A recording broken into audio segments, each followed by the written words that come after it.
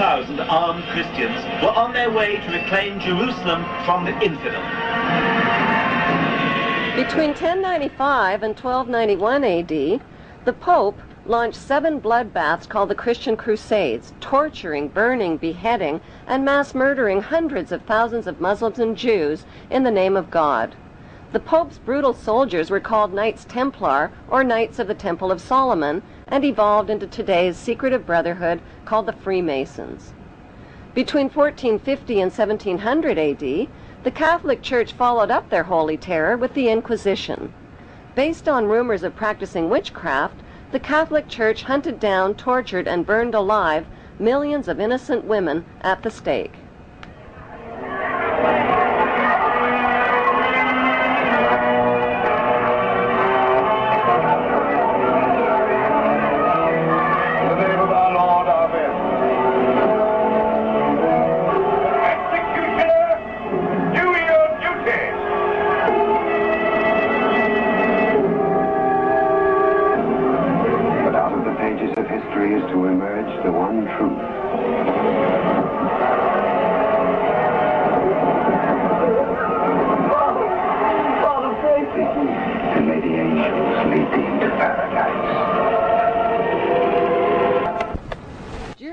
War II, the Vatican was criticized for supporting Hitler and his Nazi regime. To this day, the Vatican is still under investigation for plundering Nazi gold from the Swiss bank accounts of Jewish Holocaust victims. Over the past five decades, more than 1,500 priests and bishops have been identified in the sexual assault of tens of thousands of boys and girls in their trusting congregations and orphanages. Why is this filthy rich institution preaching spiritual values of poverty and chastity while cardinals, bishops, and priests cover up their crimes of sexual abuse? Why has the church fought and resisted the compensation claims of their sexually, emotionally, and spiritually traumatized victims? Like Vatican City, London's inner city is also a privately owned corporation or city-state, located right smack in the heart of Greater London. It became a sovereign state in 1694 when King William III of Orange privatized and turned the Bank of England over to the bankers. By 1812, Nathan Rothschild crashed the English stock market and scammed control of the Bank of England. Today, the city-state of London is the world's financial power center and the wealthiest square mile on the face of the earth. It houses the Rothschild-controlled Bank of England, Lloyd's of London, the London Stock Exchange, all British banks, the branch offices of 385 foreign banks, and 70 U.S. banks. It has its own courts, its own laws, its own flag, and its own police force. It's not part of Greater London or England or the British Commonwealth and pays no taxes. The city-state of London houses Fleet Street's newspaper and publishing monopolies. It is also the headquarters for worldwide English Freemasonry and headquarters for the worldwide money cartel known as the Crown. Contrary to popular belief, the Crown is not the royal family or the British monarch. The Crown is the private corporate city-state of London. It has a council of 12 members who rule the corporation under a mayor called the Lord Mayor. The Lord Mayor and his 12-member council serve as proxies or representatives who sit in for 13 of the world's wealthiest, most powerful banking families. This ring of 13 ruling families includes the Rothschild family, the Warburg family, the Oppenheimer family, and the Schiff family. These families and their descendants run the Crown Corporation of London. The Crown Corporation holds the title to worldwide Crown land in Crown colonies like Canada, Australia, and New Zealand. The British Parliament and the British Prime Minister serve as a public front for the hidden power of these ruling Crown families. Like the city-state of London and the Vatican, a third city-state was officially created in 1982. That city-state is called the District of Columbia and is located on 10 square miles of land in the heart of Washington. The District of Columbia flies its own flag and has its own independent constitution. Although geographically separate, The city-states of London, the Vatican, and the District of Columbia are one interlocking empire called Empire of the City. The flag of Washington's District of Columbia has three red stars, one for each city-state in the three-city empire.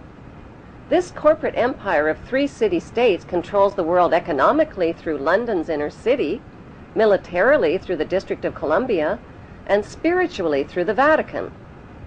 The Constitution for the District of Columbia operates under a tyrannical Roman law known as Lex Fori, which bears no resemblance to the U.S. Constitution. When Congress passed the Act of 1871, it created a separate corporate government for the District of Columbia.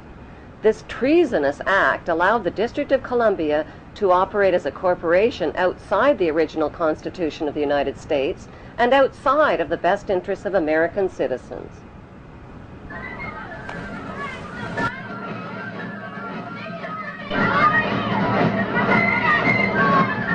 A sobering study of the signed treaties and charters between Britain and the United States exposes a shocking truth. The United States has always been, and still is, a British crown colony. King James I was famous not for just changing the Bible into the King James Version, but for signing the first Charter of Virginia in 1606.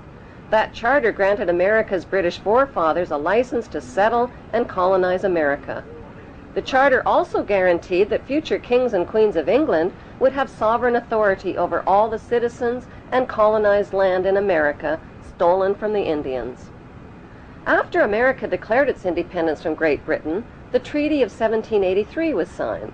That treaty specifically identifies the King of England as the Prince of the United States and contradicts the belief that America won the War of Independence.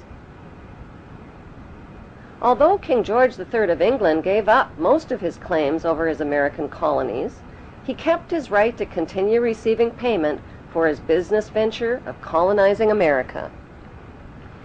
If America had really won the War of Independence, they would never have agreed to pay debts and reparations to the King of England. When Congress passed the 13th Amendment to the Constitution, the U.S. President was made subservient to the King of England. The 13th Amendment is called the Title of Nobility Amendment and forbids U.S. presidents and their officials from using royal titles like king or prince or baron. For some mysterious reason, the 13th Amendment, which was ratified in 1810, no longer appears on current copies of the Constitution. America's blood-soaked War of Independence against the British bankrupted America and turned its citizens into permanent debt slaves of the king. In the War of 1812, the British torched and burned to the ground the White House, and all U.S. government buildings and destroyed ratification records of the U.S. Constitution. One century later, a corrupt U.S. Congress committed the biggest theft in world history. They passed Paul Warburg's Federal Reserve Act in 1913, handing over America's gold and silver reserves and total control of America's economy to the Rothschild banksters. Most Americans still believe that the Fed or Federal Reserve is the government. It is not. The Fed is a privately owned banking system whose majority Class A shareholders are the Rothschilds, Warburgs, Kuhn and Loeb, J.P. Morgan, Rockefeller, Israel Seif, and the Lehman Brothers. This private banking cartel is the Fed and is never audited and never pays taxes.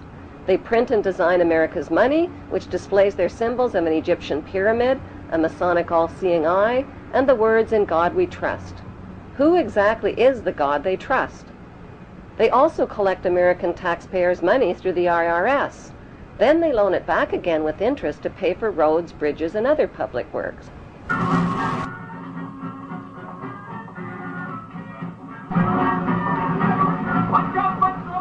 American presidents are handpicked and financed by these special interest power groups. Like George W. Bush, John Forbes Kerry, whose initials are JFK, is a member of Yale University's Skull and Bones Brotherhood. The Forbes part of John Kerry's name identifies his descendancy from Captain Robert Bennett Forbes, who was a drug runner for the Rothschilds' opium drug trade with China in the 1800s. Most U.S. citizens believe that the United States is a country and that the President is the most powerful man on earth. The United States is not a country. It is a corporation, and the President is President of the Corporation of the United States. He and his elected officials work for the corporation, not for the American people. Since the United States is a corporation, who owns the corporation of the United States? Like Canada and Australia, whose leaders are prime ministers of the Queen and whose land is called Crown Land, the United States is just another crown colony. Crown colonies are controlled by the empire of three city-states. At the center of each city-state is a towering, phallic-shaped stone monument called an obelisk that points skyward. In D.C. city-state, the obelisk, known as the Washington Monument, was dedicated to Freemason George Washington by the Freemason Grand Lodge of the District of Columbia.